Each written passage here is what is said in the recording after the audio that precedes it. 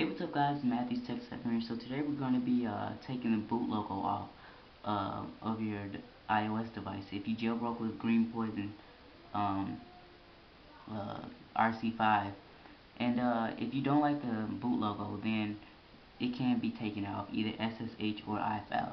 I'm going to be using iFile since uh, it's a bit more easier. So you can get iFile from Cydia for free. Just type it in. So first what we're going to do is go all the way back until you see the first thing called applications.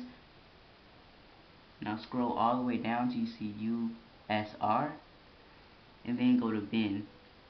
So now when you come to here uh, you should see a folder, I mean a file called animate, animated.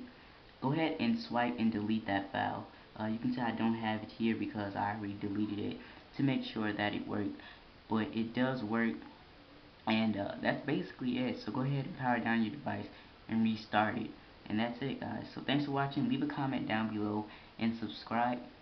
And uh, that's it guys. Thanks for watching.